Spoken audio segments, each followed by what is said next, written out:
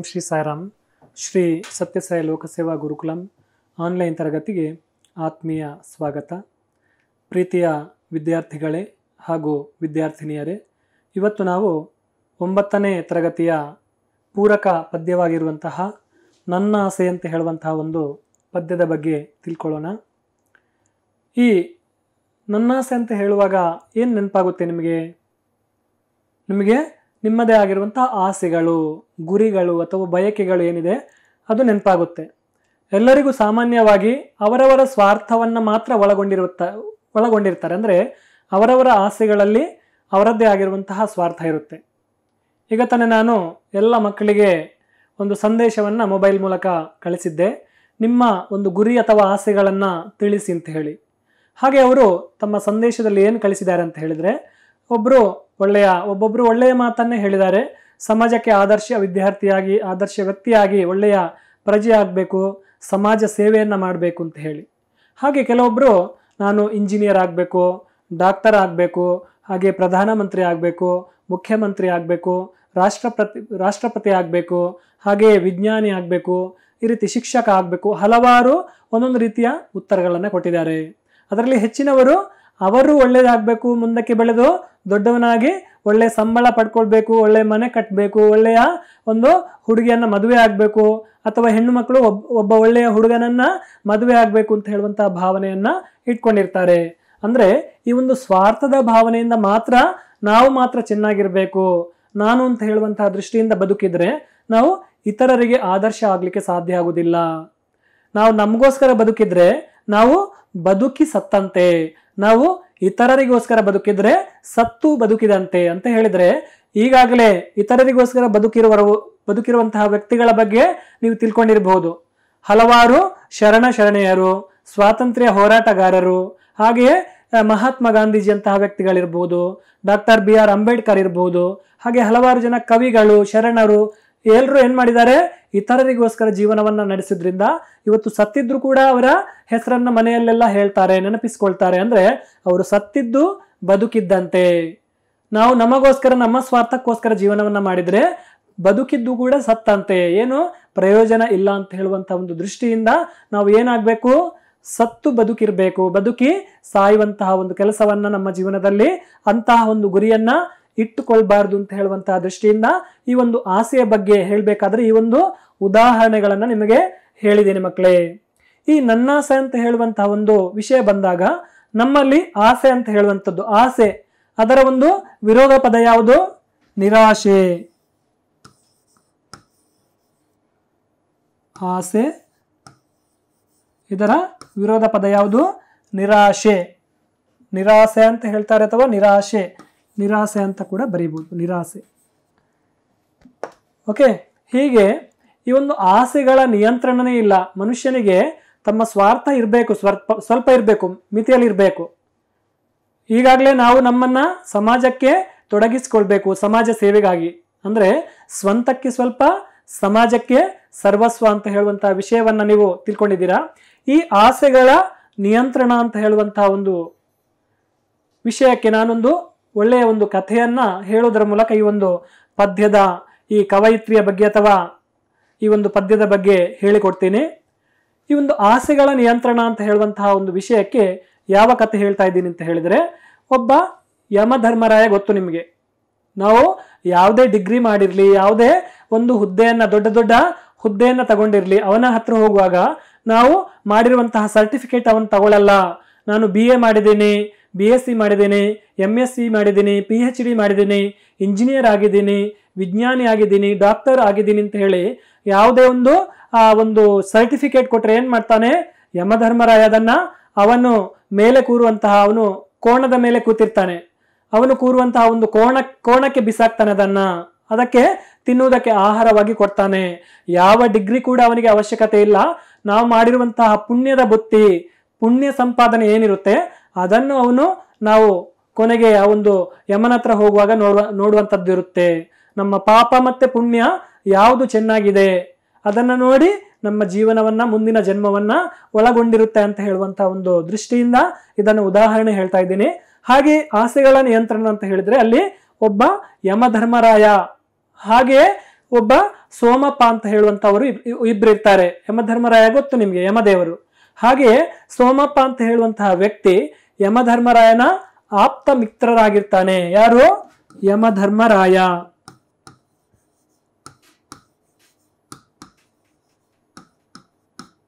ಯಮಧರ್ಮರಾಯ. ಹಾಗೆ ಸೋಮಪ್ಪ.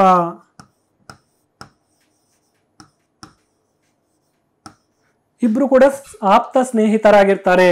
ಹಾಗೆ ಸೋಮಪ್ಪನಿಗೆ ಒಂದು ಸಲ ಸಾವು ಬರುವಂತಹ ಸಂದರ್ಭ. ಅಂದ್ರೆ ಅವನ ಆಯುಷ್ಯ ಮುಗಿಯುವಂತದ್ದು ಅವಾಗ ಯಾರು ಅವನನ್ನು ಕರ್ಕೊಂಡು ಹೋಗೋಕೆ ಬರ್ತಾರೆ? ಯಮಧರ್ಮರಾಯ, ಅವನ ಸಹಪಾಠಿಗಳು, ಸೇವಕರೆಲ್ಲ ಬರ್ತಾರಲ್ವಾ?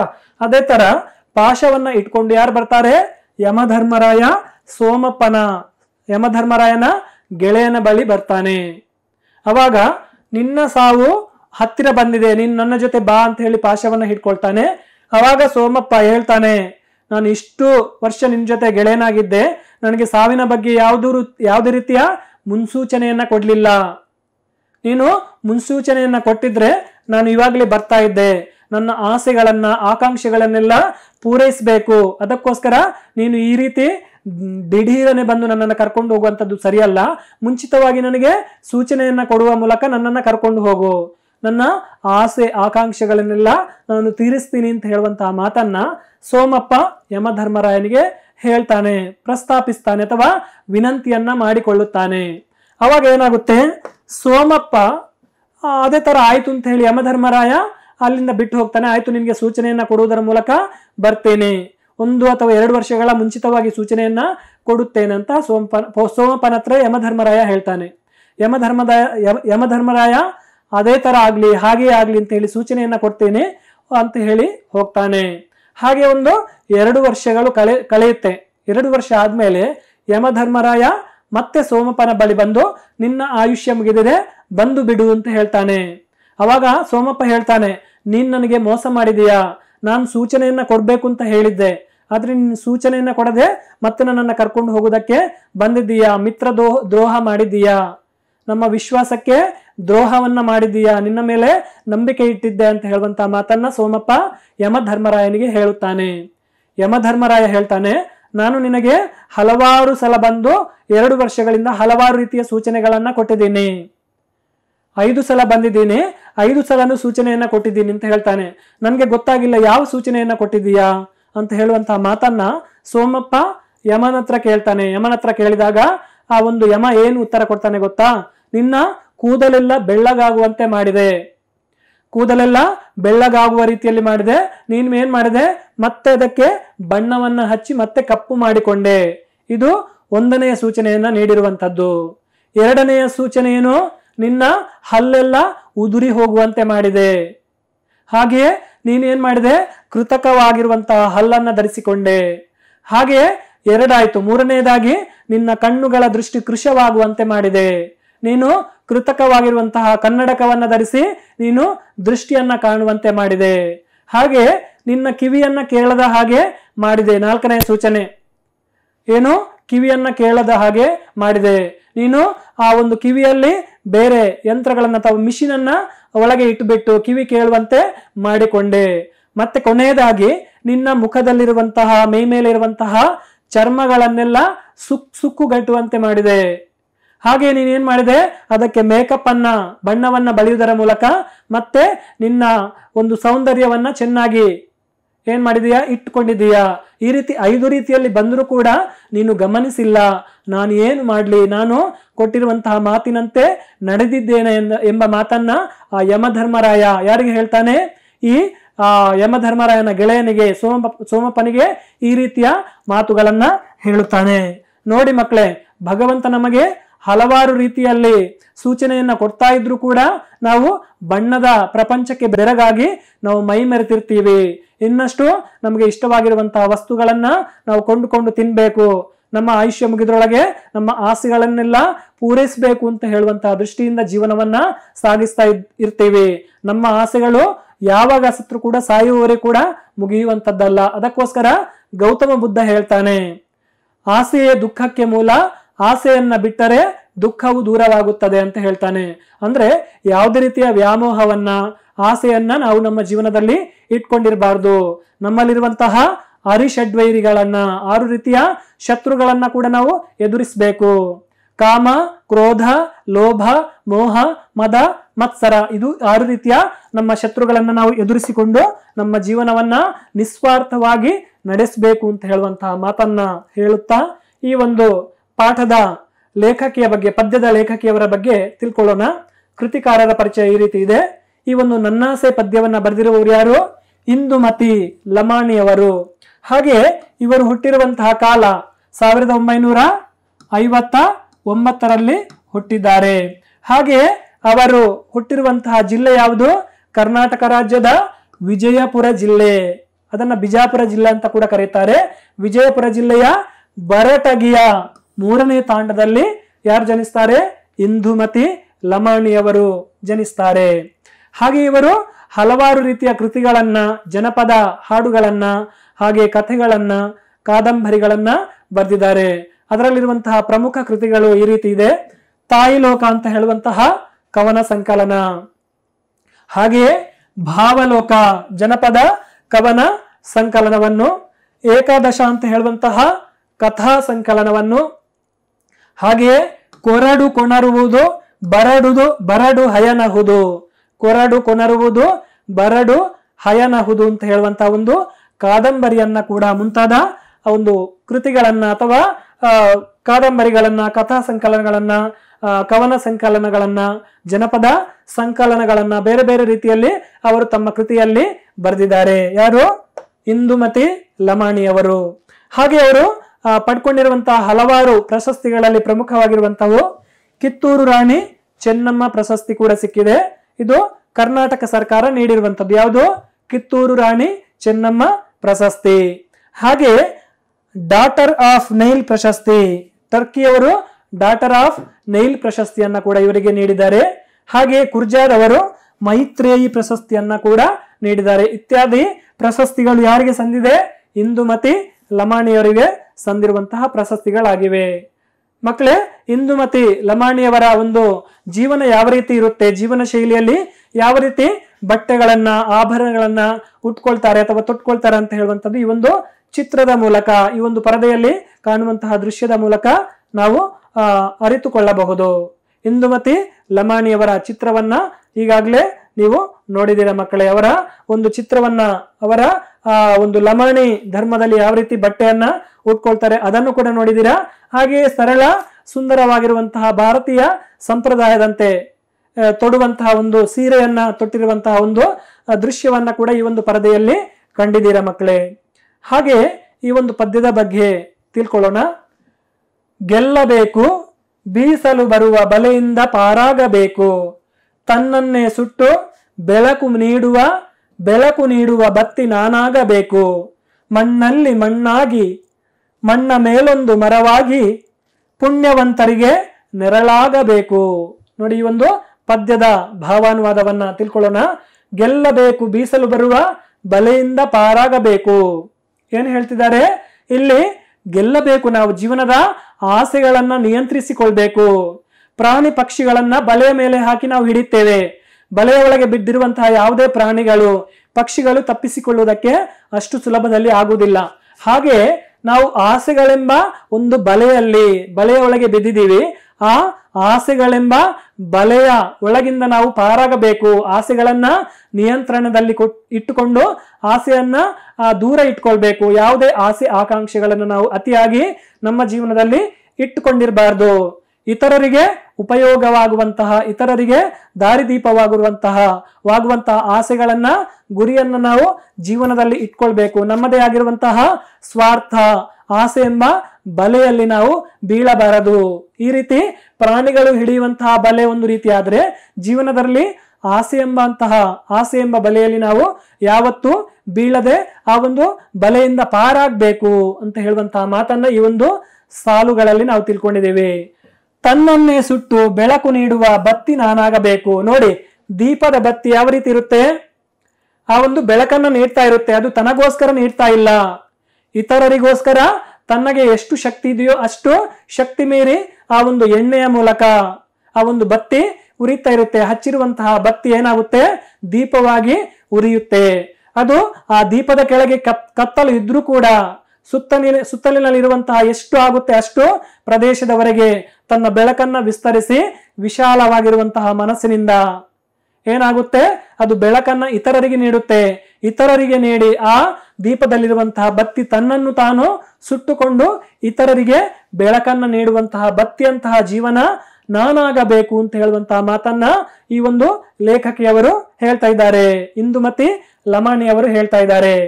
ಅಂದ್ರೆ ದೀಪ ತನ್ನನ್ನು ತಾನು ಸುಟ್ಟುಕೊಂಡು ಇತರರಿಗೆ ಬೆಳಕನ್ನ ನೀಡುವಂತೆ. ನಾವು ಕೂಡ ಜೀವನದಲ್ಲಿ ಇತರರಿಗೋಸ್ಕರ ಶ್ರಮವನ್ನ ಪಡಬೇಕು, ಜೀವನವನ್ನ ಸಾಗಿಸಬೇಕು ಅಂತ ಹೇಳುವಂತಹ ಮಾತನ್ನ ಹೇಳ್ತಾರೆ. ದೀಪ ದೀಪ ಅಂತ ಹೇಳುವಂಥದ್ದು ಈ ದೀಪದ ಚಿತ್ರ ನೋಡಿದ್ದೀರಾ? ಯಾವ ರೀತಿ ಇದೆ? ಈ ರೀತಿ ದೀಪ ಇದೆ. ಅದು ಉರಿತಾ ಇದೆ. ಎಲ್ಲ ಕಡೆ ಬೆಳಕನ್ನು ನೀಡ್ತಾ ಇದೆ. ಇದರ ಕೆಳಗಡೆ ಎಣ್ಣೆಯನ್ನು ಹಾಕಿ, ಬತ್ತಿಯನ್ನು ಹಾಕಿಬಿಟ್ಟು ಇಲ್ಲಿ ಉರಿಸ್ತಾ ಇರ್ತೀವಿ. ಈ ದೀಪ ಬೆಳಕನ್ನ ಎಲ್ಲ ಕಡೆ ಚೆಲ್ತಾ ಇರುತ್ತೆ. ಇದು ದೀಪ ಉರಿಯದೇ ಇದ್ರೂ ಕೂಡ ದೀಪ ಅಂತ ಹೇಳ್ತಾರೆ. ಹಾಗೆ ಉರಿತಾ ಇದ್ರು ಕೂಡ ದೀಪ ಅಂತ ಹೇಳ್ತಾರೆ. ಉರಿತಾ ಇದ್ರೆ ನಿಜವಾಗಿ ಉರಿಯುವಂತಹ ದೀಪಕ್ಕೆ ನಾವು ಹೇಳಬೇಕಾಗಿದ್ದು ಯಾವುದು? ಪ್ರದೀಪ. ಪ್ರದೀಪ ಅಂತ ಹೇಳಬೇಕು. ಹಾಗೆ ನಾವು ಸಾಮಾನ್ಯವಾಗಿ ಉರಿಯದೇ ಇರುವಂತಹ ದೀಪಕ್ಕೂ ದೀಪ, ಉರಿತಾ ಇರುವಂತಹ ದೀಪಕ್ಕೂ ದೀಪ ಹೇಳ್ತೀವಿ. ಉರಿತಾ ಇರುವಂತಹ ದೀಪ ನಿಜವಾಗಿ ಪ್ರದೀಪ ಆಗಿರುತ್ತೆ. ಹಾಗೆ ತನ್ನನ್ನೇ ಸುಟ್ಟು ದೀಪ ಯಾವ ರೀತಿ ಬೆಳಕನ್ನ ಇತರರಿಗೆ ನೀಡುತ್ತೋ ಅದೇ ರೀತಿ ನಮ್ಮ ಜೀವನ ಇತರರಿಗೆ ನಾವು ದೀಪದಂತೆ ಬೆಳಗ್ಬೇಕು. ದಾರಿ ದೀಪ ಆಗ್ಬೇಕು ಅಂತ ಹೇಳುವಂತಹ ದೃಷ್ಟಿಯಿಂದ ಲೇಖಕಿಯವರು ಆ ಒಂದು ಆಸೆಯ ಬಗ್ಗೆ, ನಮ್ಮ ಆಸೆ, ಆ ರೀತಿಯ ಆಸೆಗಳನ್ನ ಹೊಂದಿರಬೇಕು ಅಂತ ಹೇಳುವಂತಹ ವಿಷಯವನ್ನ, ತನ್ನ ಆಸೆಯನ್ನ ಈ ಒಂದು ಪದ್ಯದ ಮೂಲಕ ತನ್ನ ಮನದಾಳವನ್ನ ಹೇಳಿದ್ದಾರೆ. ಮಣ್ಣಲ್ಲಿ ಮಣ್ಣಾಗಿ, ಮಣ್ಣ ಮೇಲೊಂದು ಮರವಾಗಿ ಪುಣ್ಯವಂತರಿಗೆ ನೆರಳಾಗಬೇಕು. ನಾವು ಹುಟ್ಟಿದವರು ಹುಟ್ಟು ಅಂತ ಹೇಳುವಂಥದ್ದು ಆಕಸ್ಮಿಕ, ಮರಣ ಅಂತ ಹೇಳುವಂಥದ್ದು ಖಚಿತ.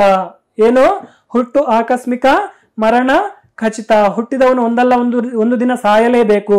ಹಾಗೆ ನಾವು ಮಣ್ಣಲ್ಲಿ ಮಣ್ಣಾಗಿ, ನಾವು ಹುಟ್ಟಿದವರು ಒಂದಲ್ಲ, ಒಂದು ದಿನ ಮಣ್ಣಾಗುವಂಥದ್ದು. ಈ ಒಂದು ಭೂಮಿ ತಾಯಿಯ ಮಡಿಲಿಗೆ ನಾವು ಸೇರ್ಕೊಳ್ತೀವಿ, ನಮ್ಮ ದೇಹ ಅದಕ್ಕೆ ಸೇರ್ಕೊಳ್ಳುತ್ತೆ. ಅದೇ ರೀತಿ ಅದು ಮಣ್ಣಾಗುವಾಗ ಏನಾಗಬೇಕು ಹೇಳ್ತಿದ್ದಾರೆ ಲೇಖಕಿ? ಮಣ್ಣಲ್ಲಿ ಮಣ್ಣಾಗುವಾಗ ಮಣ್ಣ ಮೇಲೊಂದು ಮರವಾಗಬೇಕು. ಅದು ಮಣ್ಣಲ್ಲಿ ಮಣ್ಣಾಗುವಂತಹ ದೇಹ ಒಂದು ಮರವಾಗಿ ನಾನು ಆ ಒಂದು ದೇಹ ಬೆಳಿಬೇಕು. ಹಾಗೆ ಮರವಾಗಿ ಪುಣ್ಯವಂತರಿಗೆ ನೆರಳಾಗಬೇಕು. ಇತರರಿಗೆ ಆ ಒಂದು ನೆರಳನ್ನ ನೀಡುವ ಮೂಲಕ ನಾನು ಮರವಾಗಿ ಆಶ್ರಯವನ್ನ ನೀಡಬೇಕು. ಆಶ್ರಯ ದಾತನಾಗಬೇಕು ಅಂತ ಹೇಳುವಂತಹ ಮಾತನ್ನ ಲೇಖಕಿಯವರು ತನ್ನದ, ತನ್ನ ಮನದ ಇಚ್ಛೆಯನ್ನ, ಮನದ ಅಂತ, ಅಂತರಂಗದ ಒಳಗಿರುವಂತಹ ಆಸೆಯನ್ನ ನಮ್ಮ ಜೊತೆ ಹಂಚಿಕೊಂಡಿದ್ದಾರೆ. ಮಕ್ಕಳ, ಈ ಒಂದು ಸಾಲುಗಳು ಅರ್ಥ ಆಗಿದೆ ಅನ್ಕೊಂಡಿದ್ದೀನಿ ನಿಮಗೆ. ಮುಂದಿನ ಸಾಲುಗಳ ಬಗ್ಗೆ, ಪದ್ಯದ ಬಗ್ಗೆ ತಿಳ್ಕೊಳ್ಳೋಣ ಮಕ್ಕಳೇ. ಭತ್ತದ ಹೊರತೆ ಸದಾ ಚಿಮ್ಮುತ್ತಲಿರುವ ಚಿಲುಮೆ ನಾನಾಗಿ ದಾಹಗೊಂಡವರ ತನುವ ತಣಿಸುವಂತಾಗಬೇಕು. ಅಳುವ ಕಂದನ ನಗಿಸಲು ಅಮ್ಮನ ಕಂಠದ ಜೋಗುಳ ನಾನಾಗಬೇಕು. ಏನ್ ಹೇಳ್ತಿದ್ದಾರೆ? ಭತ್ತದ ಹೊರತೆ ಸದಾ ಚಿಮ್ಮುತ್ತಾ ಇರುತ್ತೆ. ಏನಾಗುತ್ತೆ? ಆ ಒಂದು ನದಿಯಲ್ಲಿ ಅಥವಾ ಪರ್ವತದ ಒಂದು ಸಂಧಿಯಲ್ಲಿ ಆ ಒಂದು ಜಲಪಾತದಂತೆ ಹರಿಯುವಂತಹ ನದಿಗಳಿರ್ಬೋದು, ಜೋಗ, ಜಲಪಾತ ಇರ್ಬೋದು, ಅಥವಾ ಕಣಿವೆಗಳಿರ್ಬೋದು, ಎತ್ತರದ ಗುಡ್ಡಗಾಡು ಪ್ರದೇಶಗಳಿಂದ ಮಳೆ, ಮಳೆಯ ನೀರೆಲ್ಲ ಹರಿತಾ ಬಿರುತ್ತೆ. ಅದು ಚಿಮ್ಮುತ್ತಾ, ನಲಿಯುತ್ತಾ, ಹರಿಯುತ್ತಾ ಇರುವಂತ ಏನಾಗಬೇಕು? ಆ ರೀತಿ ಬತ್ತದೇ ಇರುವಂತಹ, ನಾನು ಯಾವತ್ತೂ ಕೂಡ ಬತ್ತಿ ಹೋಗದೇ ಇರುವಂತಹ ಒಂದು ನೀರಿನ ಚಿಲುಮೆ ಆಗ್ಬೇಕು ಅಂತ ಹೇಳುವಂತಹ ಮಾತನ್ನ ಇಲ್ಲಿ ಹೇಳ್ತಾ ಇದ್ದಾರೆ. ನೋಡಿ ಇಲ್ಲಿ ಈ ಒಂದು ಕೆರೆ ಕೆರೆ ಅಥವಾ ಕೊಳದಲ್ಲಿ ಮೇಲಿನಿಂದ ಪರ್ವತದ ಕಡೆಯಿಂದ ನೀರು ಹರಿತಾ ಇರುತ್ತೆ. ಅದು ಯಾವತ್ತು ಕೂಡ ಬತ್ತುವಂತ ಒಂದು ಕೆರೆ ಆಗಿರಲ್ಲ ಅಥವಾ ಚಿಲುಮೆ ಇರಲ್ಲ. ಕೆಲವೊಂದು ಕಡೆ ಬತ್ತದೇ ಇರುವಂತಹ ನೀರು ಇರುತ್ತೆ, ಕೊಳಗಳಿರುತ್ತೆ ಅಥವಾ ಆ ಒಂದು ಪರ್ವತಗಳಲ್ಲಿ ನೀರು ಹರಿತಾ ಇರುತ್ತೆ. ಹಾಗೆ ನಾನು ಯಾವತ್ತು ಕೂಡ ನೀರಲ್ಲಿ ಖಾಲಿ ಆಗದ ಹಾಗೆ ಸದಾ ಹರಿತಾ ಇರುವಂತಹ ಚಿಲುಮೆಯಂತೆ ನೀರಿನಂತೆ ನನ್ನ ಜೀವನ ಆಗಬೇಕು. ಇತರರಿಗೆ ಆ ಒಂದು ಹರಿಯುವಂತಹ ನೀರು ಯಾವತ್ತು ಕೂಡ ಸ್ವಚ್ಛವಾಗುತ್ತೆ, ಪರಿಶುದ್ಧವಾಗಿರುತ್ತೆ. ಅಂತಹ ಪರಿಶುದ್ಧವಾಗಿರುವಂತಹ ಹರಿಯುವ ನೀರಿನಂತಹ ಜೀವನ ನನ್ನದಾಗಬೇಕು, ಇತರರಿಗೆ ಉಪಯೋಗವಾಗಬೇಕು ಅಂತ ಹೇಳುವಂತಹ ಮಾತನ್ನ ಇಲ್ಲಿ ಲೇಖಕಿಯವರು ಹೇಳ್ತಾ ಇದ್ದಾರೆ. ದಾಹಗೊಂಡವರ ತನುವ ತಣಿಸುವಂತಾಗಬೇಕು ಹಾಗೆ ಆ ಹರಿಯುತ್ತಿರುವ ಪರಿಶುದ್ಧ ನೀರಿನಂತೆ ಏನಾಗಬೇಕು? ಆ, ದಾಹ ಆದವರಿಗೆ ಬಾಯಾರಿಕೆ ಆದವರಿಗೆ ಏನಾಗಬೇಕು?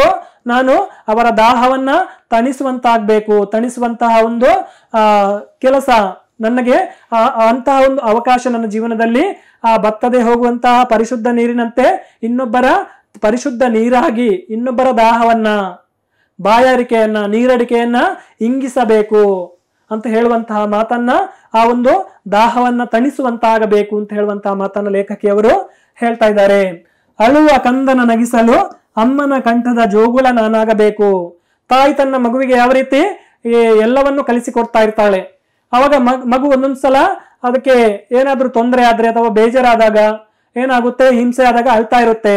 ಅವಾಗ ಅಮ್ಮ ಏನ್ ಮಾಡ್ತಾಳೆ, ಜೋಗುಳವನ್ನ ತೊಟ್ಟಿಲಲ್ಲಿ ತೂಗುತ್ತಾ ಆ ಮಗುವನ್ನ ಜೋಗುಳ ಹಾಡ್ತಾ ಇರ್ತಾಳೆ.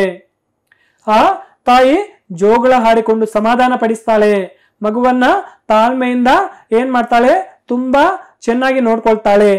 ಅವಾಗ ಆ ಒಂದು ಅಳುವ ಕಂದನಿಗೆ ಜೋಗುಳ ಹಾಡುವ ಮೂಲಕ ತನ್ನ ಕಂಠದಲ್ಲಿ ಹಾಡನ್ನ ಹಾಡುವ, ಹಾಡುವಾಗ ಮಗು ಕೂಡ ಅದ್ರ ಜೊತೆ ಸಂತೋಷ ಪಟ್ಟು ಆ ಜೋಗುಳ ಹಾಡ್ತಾ ಇರ್ಬೇಕಾದ್ರೆ ಏನು ಹೇಳುತ್ತೆ? ಆ, ಅಂತ ಹೇಳಿ ಧ್ವನಿಯನ್ನ ಆ ಮಗು ಕೂಡ ಮಾಡುತ್ತೆ.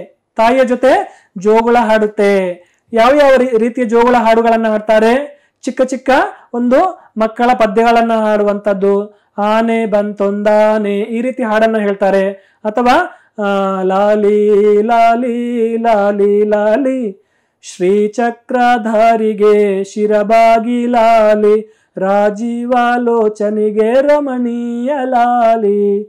ಅಲ್ಲದೆ ಬೇರೆ ಬೇರೆ ಹಾಡುಗಳನ್ನು, ಜೋ ಜೋ, ಲಾಲಿ, ನಾ ಹಾಡುವೆ, ಚಿನ್ನ, ನಿನ್ನ ಮುದ್ದಾಡುವೆ.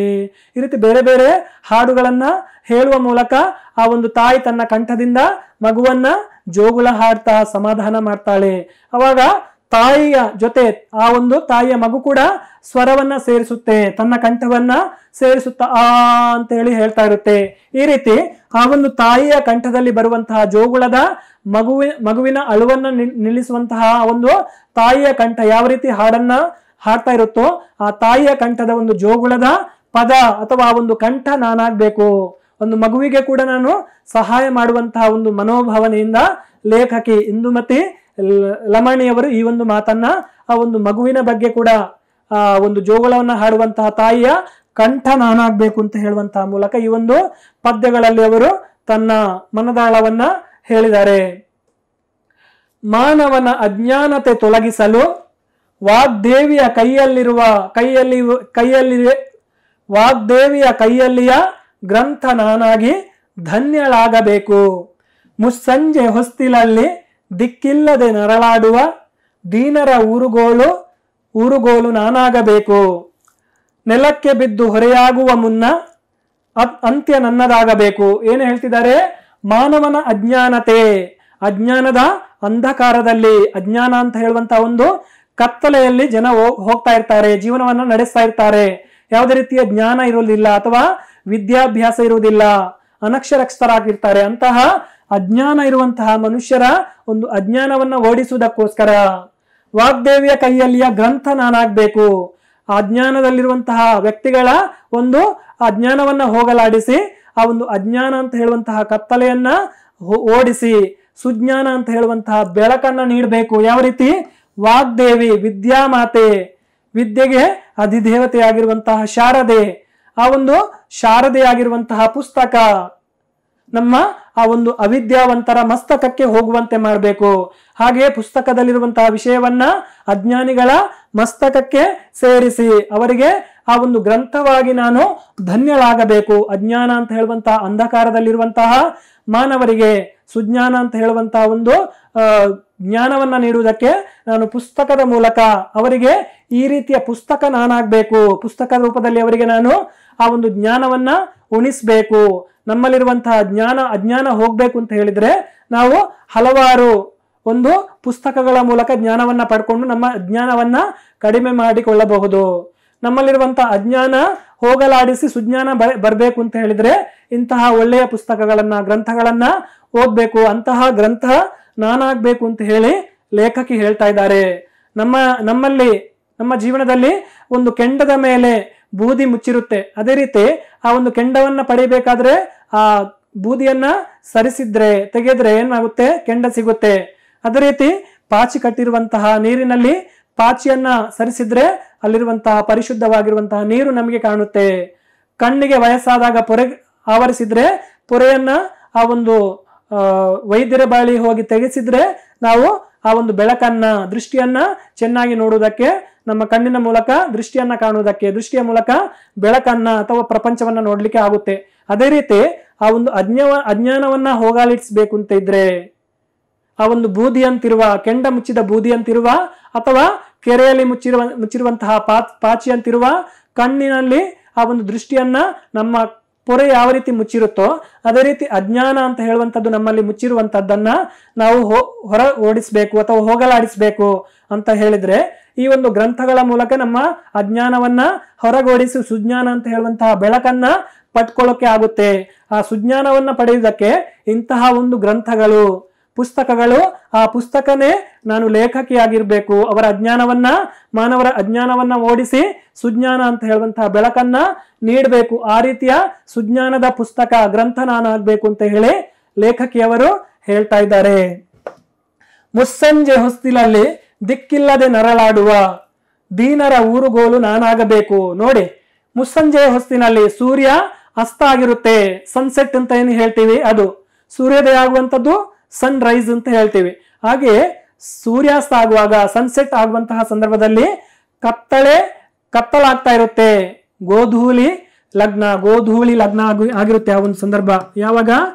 ಗೋಧೂಳಿ ಲಗ್ನ ಅಂತ ಹೇಳ್ತೀವಿ. ಅಂದ್ರೆ ಗೋಧೂಳಿ ಅಂದ್ರೆ ಆ ಒಂದು ದನ ಕರುಗಳು ಹಸುಗಳೆಲ್ಲ ಮೇವನ್ನ ಮುಗಿಸಿಕೊಂಡು ತಮ್ಮಲ್ಲಿರುವಂತಹ ಕೈಕಾಲಲ್ಲಿ ಅಂಟಿಕೊಂಡಿರುವಂತಹ ನೀರ್ ಧೂಳನ್ನ ಧೂಳನ್ನ ಆ ಒಂದು ಅದರ ಕೊಟ್ಟಿಗೆ ಎದುರು ನೀರು ಹಾಕಿರ್ತಾರೆ. ಅದು ನಡ್ಕೊಂಡು ಒಳಗೆ ಹೋಗುವಂತಹ ಒಂದು ಬಾಗಿಲ ಹತ್ರ ನೀರು ಹಾಕಿರ್ತಾರೆ ನೆಲದ ಮೇಲೆ.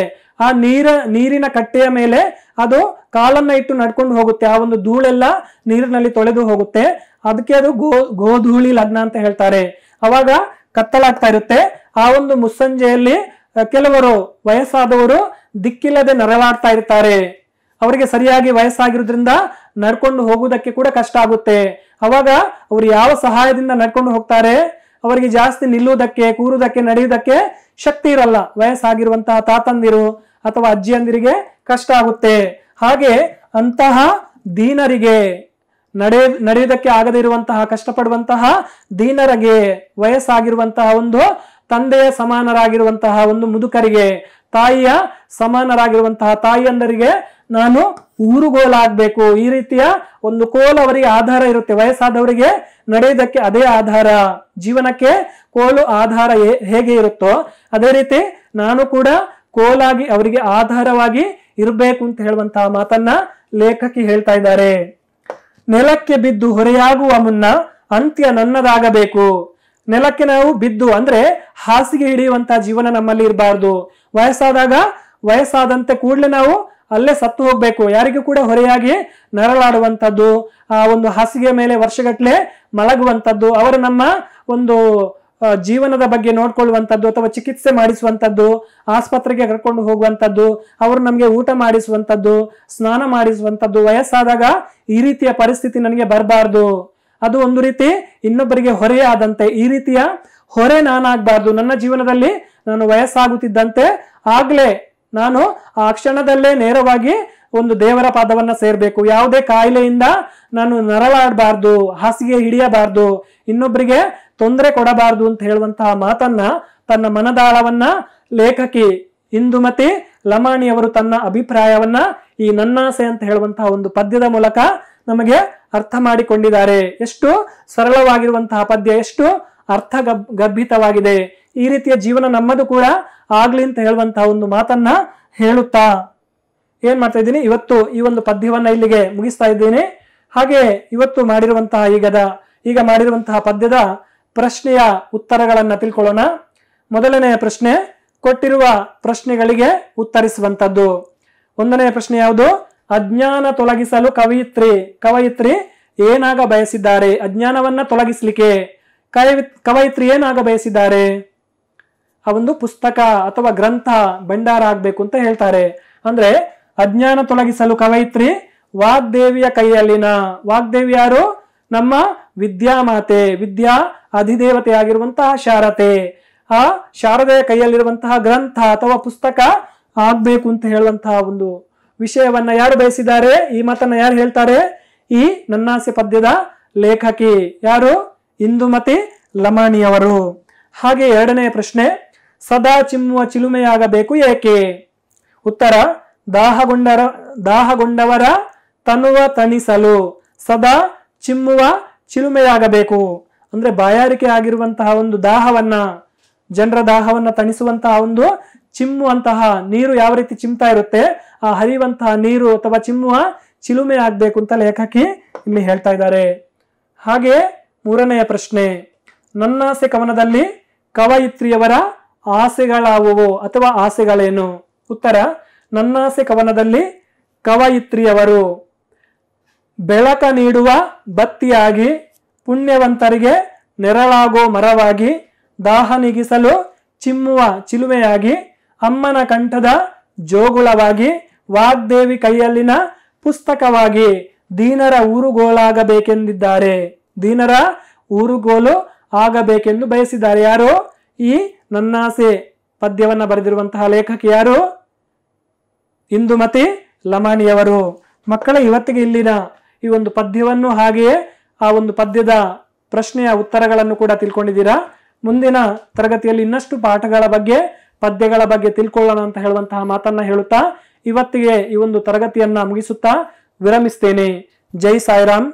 ಧನ್ಯವಾದಗಳು.